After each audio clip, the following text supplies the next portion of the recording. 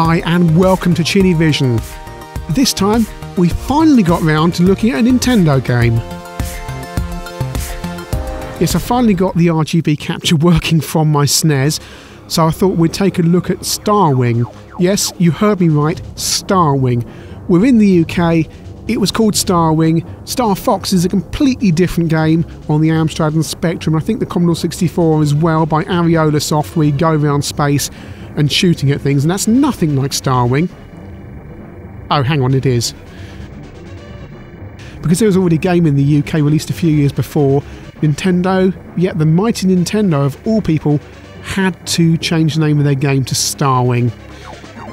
Of course, it had a special chip in the cart that did all these spectacular 3D visuals, and partly developed, I believe, by Argonaut, who gave us the wonderful Starglider and Starglider 2 across well, pretty much every system you can imagine, from the Spectrum to the Amstrad PCW to the Amiga and all sorts of uh, systems. So you can see where we're kind of going here. I'm not going to explain the plot too much because it's a bit like Space Harrier, where there's there's a plot, um, but really all you want to do is go along and shoot at things. Nice menu screen here control select screen here, we can select which selection of controls you want to use on your joypad, so you can choose whatever preference. You can select a difficulty level here. We can start off on level 1, but once you master the game, you can go on to level 2 and level 3. Bit of mode 7 scaling here as we start off.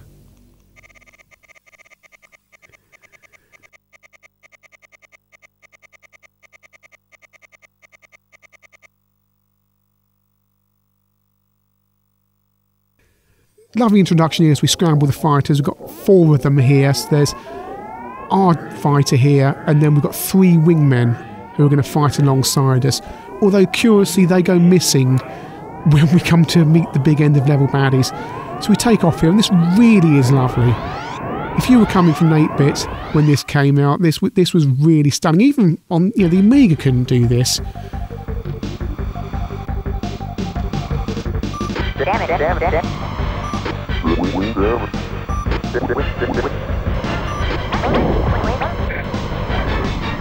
So it's really, really nice.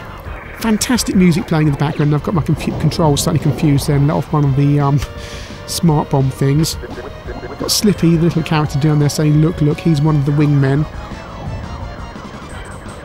I don't know what he wants me to look at, but he says, did you, did you see me? So I'm trying to get my bearings here. Not played this for a while.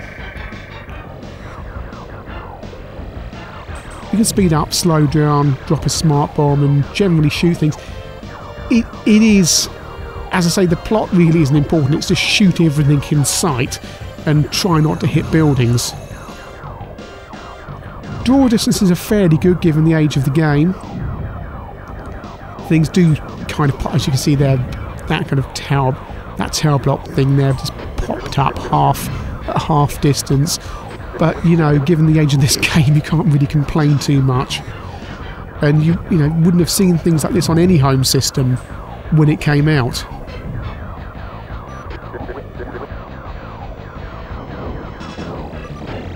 Ooh, been hit there. Um, I am very out of practice on this. Occasionally, the wingmen will say they're being attacked, and unless you intervene and help, they will take damage.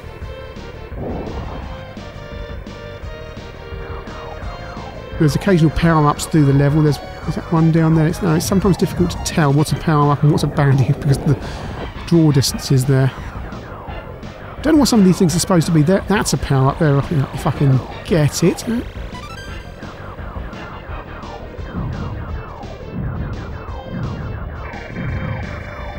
Sometimes difficult to tell what some of these road baddies are supposed to be. And some of these things have been. Ah, here we go. Croak, help me, says Slippy. So I've got to try and shoot. Yeah, there you go. Ribbit, thanks for the save. And there's another power up. Taking a hit. Fast forwarded a bit here, so we're at the end of level baddie on level 1.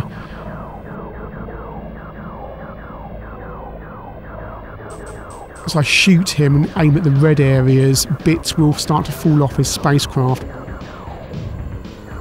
See if that does any damage. His energy level go down, goes down a little bit. I, one thing I don't understand in this game is why the, where are the wingmen where this when this is going on? You know, they fight with you through the level. Then when the big guy comes at the end of the level, they all clear off. So that, that's a little bit of a disappointment. The big old chunk has fallen off the enemy there.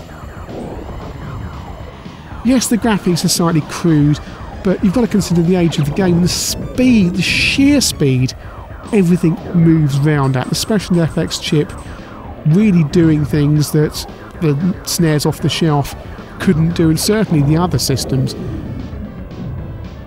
I think perhaps the only thing I can think of machine that I can think of in this era that could compete with this would either be a very high-end PC for which there weren't games like this available, or perhaps the Acorn Archimedes.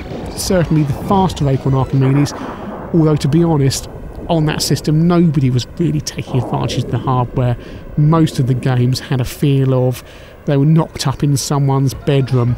So although the system had the power, there wasn't really anything of this quality on it.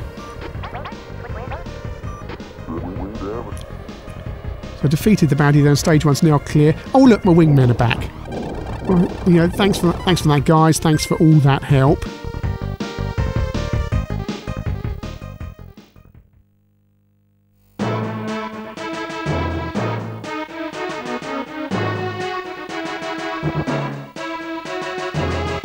So the asteroid belt.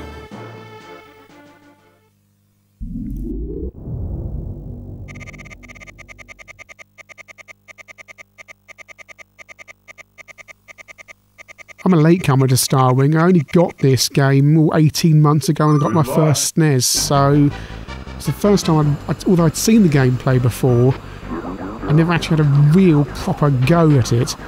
And it remains impressive even today. Now we're in space and we're inside our spacecraft and using the targeting here to, to shoot enemies.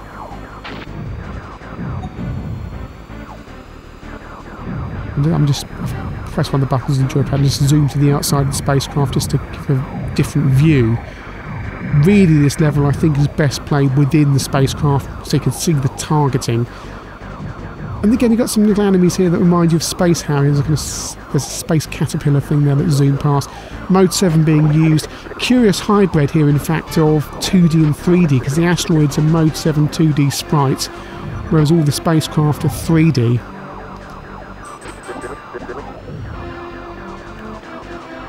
Slippy's taken a hit there, so his shield's down.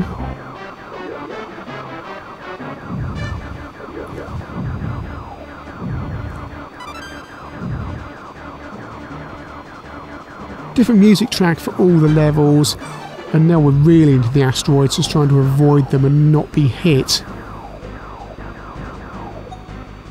Clearly taken a decision to keep the asteroids 2D because if they try to do them in 3D, they'd probably end up looking like those terrible asteroids you see in the uh, 1987 to 1989 Doctor Who sequence where you got all that wonderful CGI and then those dodgy asteroids go past because the computers of the day didn't have enough grunt to be able to render something that looked even remotely realistic.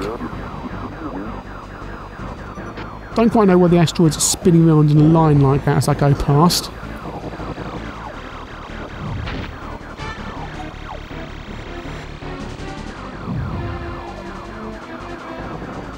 So fast forward a bit here onto level 3 and we're going to fly down here and we're actually going to enter this spacecraft again on my own.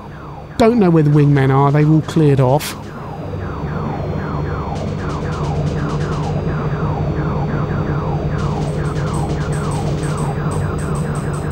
And this is really lovely. You get to fly through the spacecraft and just trying to unsuccessfully avoid the doors opening and closing there.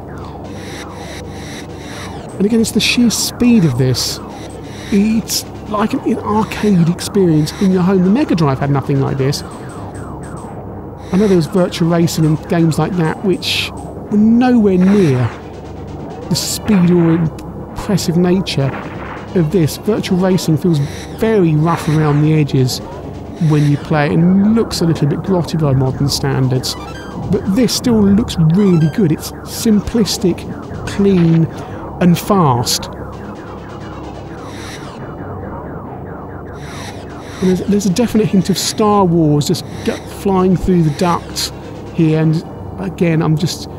So I fly through this bit here, and I'm going to be confronted by the end of level baddie.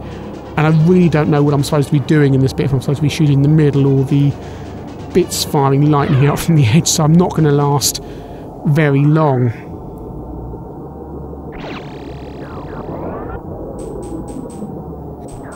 You know, I'm not a particular fan of the SNES. I'm really a Mega Drive person at heart, and in most cases prefer the games in that system. But Starwing is definitely an exception to that. It's a really, really polished game. It's quite unlike anything you see on other systems. Certainly at the time, it was it was absolutely jaw-dropping, completely unique. Reminiscent of games like Starglider, as I mentioned, because of the Argonaut connection, but so many levels beyond that. Starglider is a great game, but it's Stone Age compared to what we're seeing here. The combination of the SNES's inbuilt hardware, the Special FX chip, and some great programming have combined to make a game that is truly special even today.